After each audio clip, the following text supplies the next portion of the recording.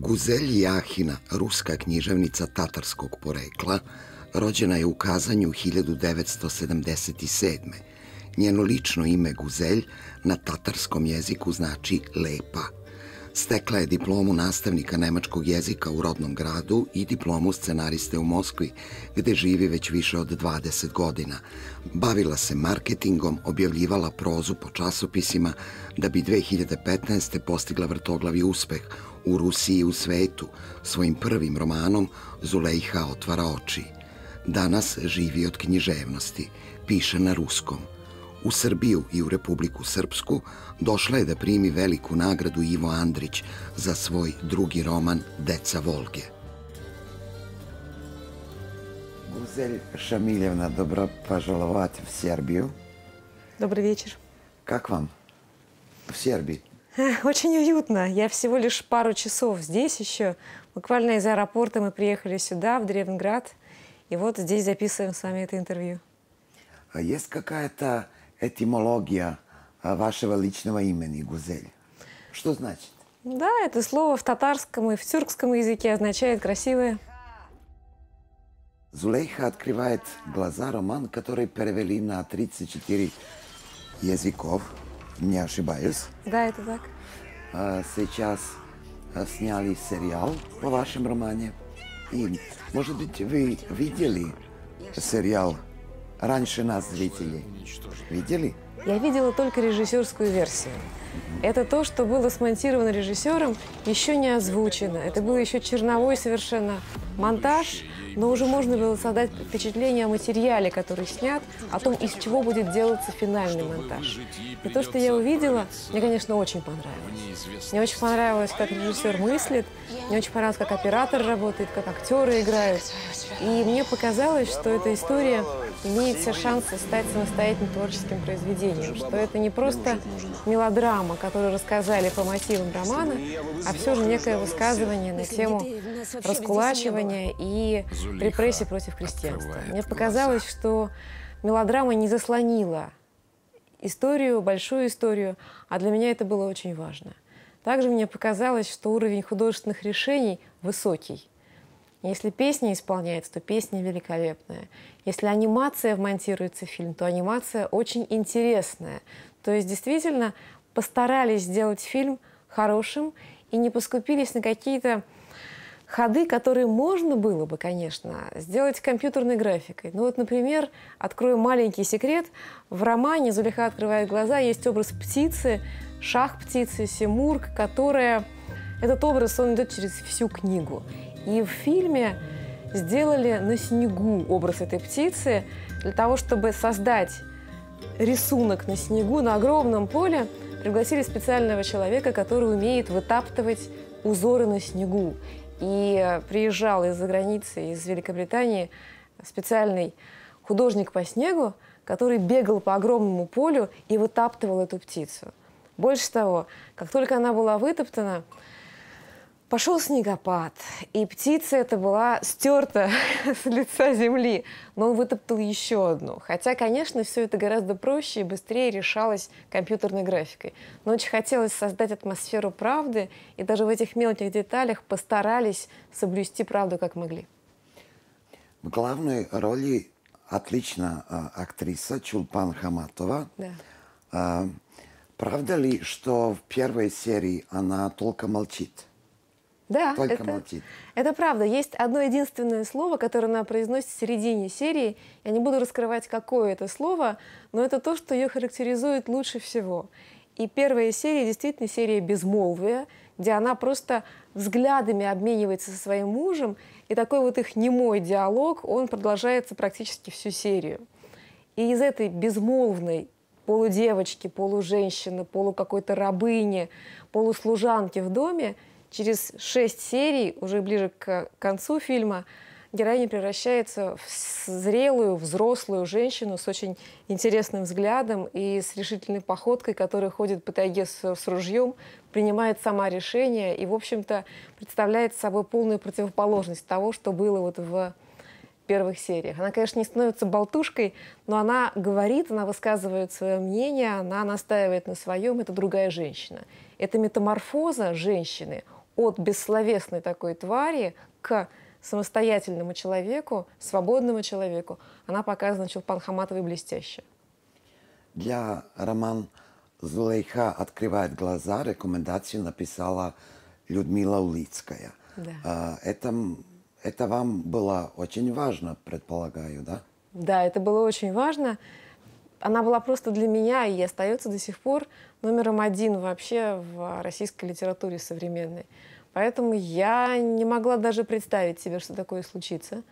Просто так получилось, что Людмила Евгеньевна Улицкая, она же состоит в том пуле авторов, которым занимается агентство литературное, куда и меня тоже взяли. Поэтому Людмила Евгеньевна прочитала мой роман одной из первых и дала вот такую путевку в жизнь. Очень важна река Волга Да. в вашем романе. Э, С Волгой начинается, с Волгом э, кончится роман. Да. Э, Она и Волга герой. Да, несомненно. Может быть, даже и главный герой, я бы сказала. Мне очень хотелось, чтобы это было так, чтобы это было видно. И поэтому совершенно осознанно первое слово «Волга» и последняя глава романа тоже вся происходит в водах Волги. И Волга появляется всегда, весь роман где-то на заднем плане, то в окне мелькает, то в пословице кто-нибудь упоминает, то в э, тексте какой-нибудь сказки она мелькает, ну и так дальше. И Волга есть всегда рядом, Волга всегда компас, Волга всегда магнит, куда э, идут герои, если вдруг они не знают, куда идти. Они идут только на берег Волги. Волга помогает жить, Волга дает рыбу, Волга источник вдохновения, источник красоты и, конечно, границы между мирами. А может быть, Волга и метафора чего-то? Да, в конце романа мне хотелось, чтобы Волга стала метафорой истории. Истории, которая текла мимо героя и течет мимо героя. Собственный роман можно сказать о том, как человек пытается убежать от истории, убежать от времени. И в конце обнаруживает, что это невозможно сделать, что нужно обязательно в это время, в эту историю упасть и стать частью истории своей страны. Вот то, что происходит с героем.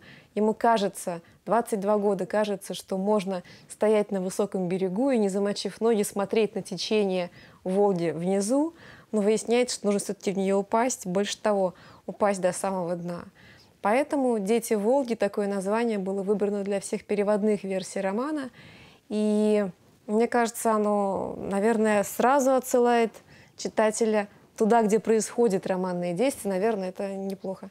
А Главный герой э, в романе «Дети мои», учитель Бах, э, потеряет речь, не может говорить. Ему вернулся голос э, в конце романа, когда он освободился от страха, если я хорошо понимаю. Моя мысль была такая. Конечно, молчание, немота и отказ от коммуникации – это такая метафора, э, главная, наверное, одна из главных метафор текста. И это для меня о связи между поколениями, которая может быть нарушена. Главный герой Бах, он молчит. Большую часть романного действия этим молчанием пытается оградить, ну и себя, но больше всего же свою жену, своих детей, оградить от того, что происходит снаружи хутора, от жестокости истории, творящейся вокруг. И в конце концов получается так, что дочь его вырастает также немой до какого-то возраста, а позже является другой человек, беспризорник Васька, который учит девочку говорить. Таким образом, девочка говорит на другом языке, буквально. Она говорит не на родном языке своем, а на выученном русском языке. И они постепенно теряют связь с отцом. То есть отец, который из любви к ней старался не разговаривать с ней и этим оберегать от того, что происходит снаружи, в конце концов все-таки ребенка теряет. Вот об этом, об этой связи нарушенной между поколениями а, мой роман, о том, что, наверное, не стоит умалчивать о своем трагическом опыте, нужно передавать его дальше другим поколениям. А то, что происходит в конце романа, в последней главе, вот эта фраза, которую Бах все-таки произносит в конце и обретает снова голос, для меня это все-таки такое выражение авторского протеста против того, что совсем скоро, в 40-е годы прошлого века, в Советском Союзе немецкая речь станет стыдной. Э, Немцы будут стыдиться разговаривать на своем родном языке просто потому, что а, как раз закончится Вторая мировая война, и быть немцем станет стыдно очень. Поэтому Протест против того, что случится, протест против того, что немецкая республика на Волге, которая была очень долгое время, будет уничтожена скоро совсем. Это все я пыталась выразить в этой последней фразе, в этом обретении речи заново. Какая разница в стиле э, ваших два романа? Я хотела уйти от стилистики первого романа, от такого татарского колорита, от женского взгляда. Хотелось уйти во что-то другое и сделать отличную вещь, отличную от первой совершенно. Поэтому герой другого пола, другого вероисповедования, другой национальности, герой второго романа «Мужчина». Я очень была озабочена тем, чтобы сделать другую стилистику и сделать совершенно другой текст, и не повториться, не дать второй роман, но написанный под другим соусом. А этим я была озабочена очень. А вот э, вопрос мужской или женский у меня герой, нет, этот вопрос совершенно не стоял. Я очень спокойно к этому отношусь, тем более, что есть те, кто называет женской прозой, а есть те, кто называет серьезной литературой. Есть те, кто называет прославлением татарской женщины, есть те, кто называет а, очернением татарской женщины. То есть очень много разных мнений, и эти мнения противоположны порой бывают. Наверное, это неплохо, пусть о романе говорят разное, а читатели пускай читают сами и делают сами какие-то выводы. Это повреждает вас, когда люди не понимают, хотя э, хочу сказать, когда из политической перспективе толкуют вашу прозу? Ну, я отношусь к этому опять-таки спокойно, потому что таких людей не очень много, и вот такое толкование говорит скорее о самом критике, нежели о тексте. Потому что есть те, кто оценивал э, роман также с точки зрения такой националистической немножко тоже. Ну, то есть были разные вот такие вот э, взгляды, и пусть они будут, я к ним ко всем отношусь спокойно. Можно на разные полки роман поставить, но если о нем говорят, пусть.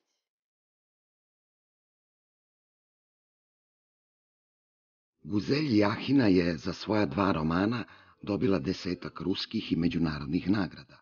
Velika nagrada Ivo Andrić uručena joj je za roman Deca Volge, u kojem piše o životu sovjetskih Nemaca na Volgi od 1918.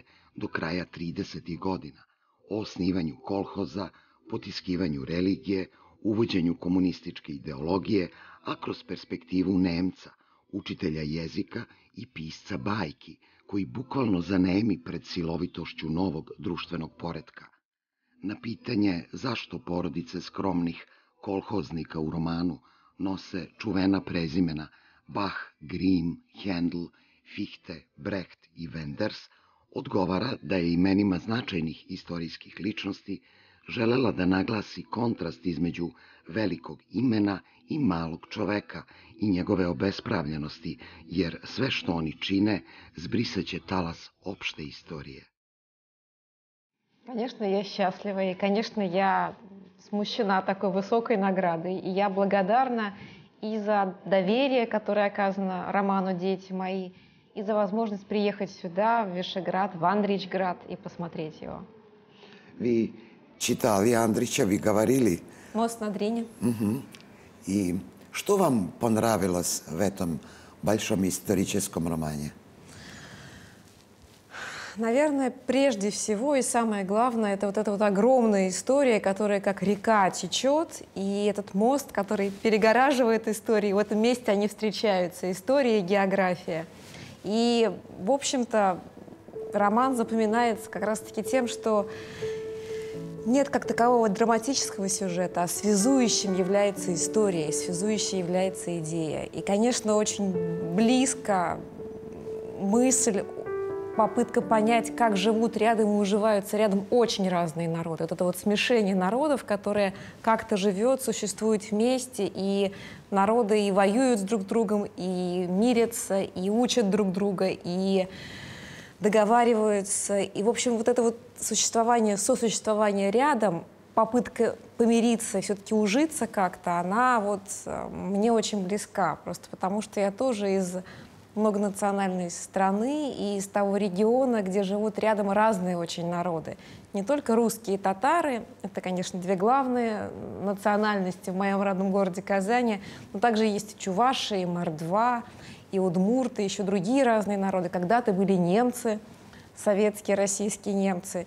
Это вот тема попытки совместной жизни, попытки все-таки примирения, нахождения какого-то общего языка, несмотря на разницу культур, вот она, наверное, самая близкая и самая главная для меня в романе «Мост на Дрине». А какие культуры влияли на ваше творчество? Прежде всего, это, конечно, две культуры, из которых я расту. Это культура татарская, культура русская. Я выросла двуязычной. До трех лет был татарский язык. В семьях бабушек и дедушек больше. Потом в мою жизнь вошел русский язык, и русский стал главным, скажу честно. Сейчас, к сожалению, по-татарски я говорю вовсе не так хорошо, как в детстве, просто потому что главный язык общения и работы, и восприятия информации все-таки русский.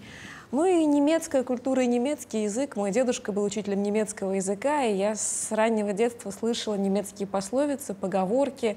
И по специальности я тоже пошла по стопам дедушки и стала учителем немецкого.